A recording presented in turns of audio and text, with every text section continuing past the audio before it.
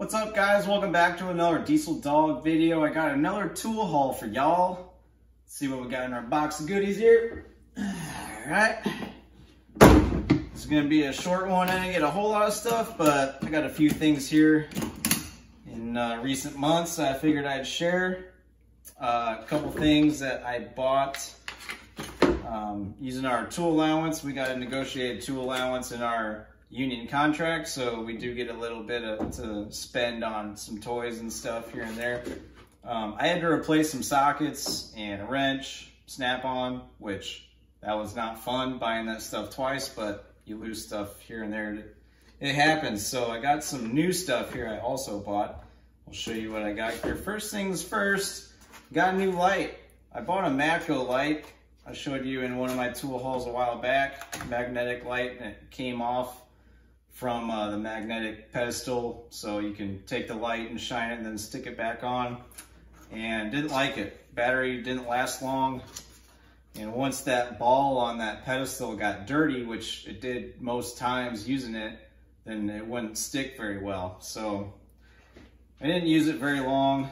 And here's my replacement. The guy, uh, Snap-on guy sold me on it, but this is the ECARD062G magnetic light. It is a wand like so. So you can, I'm gonna try not to blind you guys in the camera, but it's got a button here. There's one side, hit it twice, or it's the other, hit it three times, and you got both sides. And you can, uh, I don't wanna, see, yeah. So you can stick it on the hood or, you know, you're underneath doing a clutch on a big truck. You can just like stick it to the bottom and uh, shine it straight that way if you want. Or you've got the straight light like that. You know, you hang it there and then you can do your thing. So I'm trying it out. I've been using it a few weeks now. It's already getting dirty, but so far I like it. So far I like the long magnetic strip and mostly I've just been using the long magnetic strip like that, um, sticking it mostly on like working on the super duties and pickup trucks and stuff. I can stick it on there and it shines pretty bright down on uh, whatever I'm working on. So, so far I like this. Someone had something negative to say about it in a short I posted. Um, some people said that they liked it. So, so far I like it. The battery seems to get, you know, it's brand new, so I got about eight hours out of it, I think, or seven hours or something. I wasn't paying too much attention, but it was most of the day on a job. So, so far so good. I can actually pull that box now.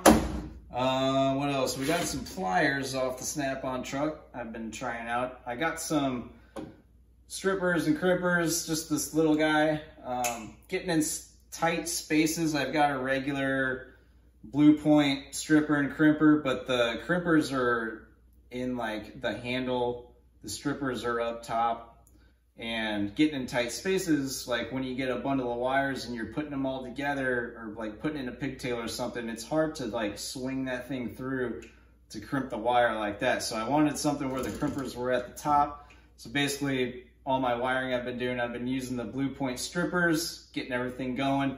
And then when I'm going back together, I'm using these to crimp my connectors. So it's working out pretty good. Use insulated uh, heat shrink connectors. I don't use just regular butt connectors. We use the heat shrink ones. So um, those work pretty good.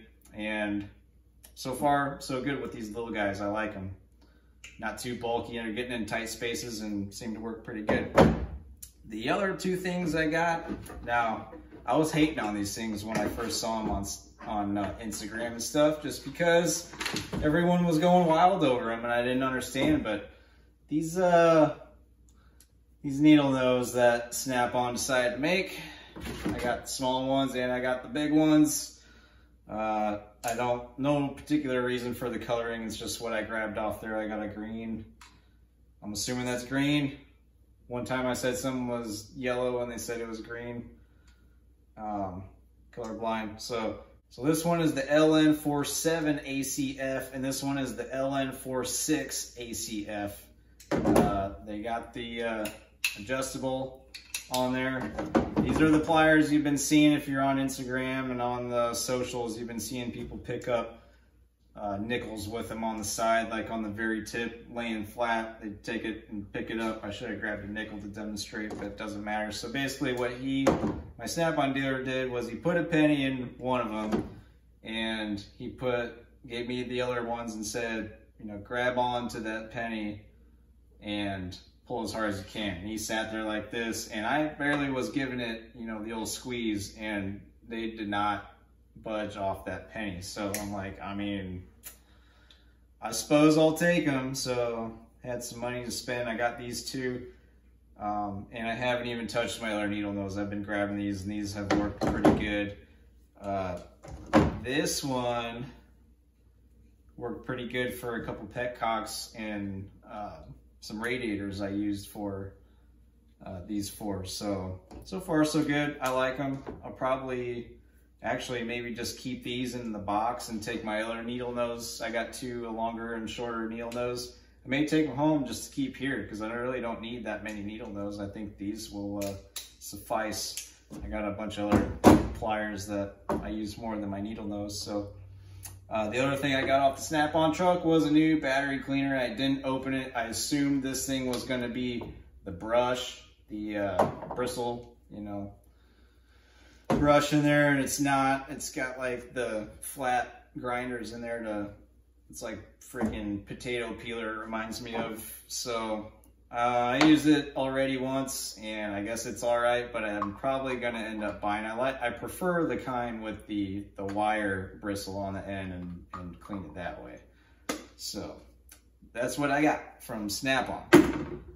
Uh, also off Amazon, I ordered a couple things for the 6.0 Power Strokes. I can't remember if I already showed this thing, but this is for getting your injector connectors out of the head. You stick this on there and you can push it through um, when you're pulling injectors off out of a 6.0 Power Stroke. So otherwise they got little tabs. You can get in there with a screwdriver and like pull one down some people I've seen use like sockets to go over there, but I found the tool on Amazon for pretty cheap. Just search 6.0 uh, injector tool and this will come up. And I got this one a while back. That's why I can't remember if I put it in another video. But the other thing I got was this. This is for pulling the glow plug connectors off the glow plugs also on 6.0 Power Strokes. Um, I have fought those things with screwdrivers and whatnot. And I've even used uh, one of my uh, trim panel tools that got in there sometimes. And then another guy that used to work at the shop a while back gave me one of his tools to borrow. He had something similar to this, not the exact same one, and worked pretty good. So I had to get my own. So I, I ordered that finally um, not too long ago. So I'm just keeping them both in the same, in the same deal here. Swag Performance and Off-Road is where I got uh, one of these. Anyways, good tools to have if you work on 6.0 Power Strokes. Look these up and, and grab those. Uh, the number on these crimpers is a PWC SS7ACF if anyone's interested in that. I didn't say it before, but there you go, guys. That's my little tool haul tonight. Nothing major, not a long video, but some guys are interested in seeing, uh, you know, kind of the stuff I'm buying. I'm pretty well stocked up. I don't really buy a whole lot. Um, a lot of the stuff I'm buying lately is like kind of specialty stuff rather than just like sockets and wrenches and, and whatnot. So the stuff I get is not uh, a whole lot anymore. It's kind of few and far between, but when I do get a few things, I usually, like I've said, I like to use things a little. You can see these are all getting dirty. I like to use stuff a little bit before I do a tool haul. That way I can say, you know, if I like it or not and how it's working out instead of, hey, look at this stuff I spent money on. And that's just kind of what I've decided I'd, I'd start doing. So I don't know why I keep opening this. I don't need it. All right, guys, that's going to do it for me. It is Sunday night. I'm getting ready to go to bed so I can go back to work tomorrow, Monday morning, work on the old turbo diesels. Thanks, guys, for tuning in. Any comments or concerns, leave a comment down below. appreciate you guys watching. I'll see you in the next video.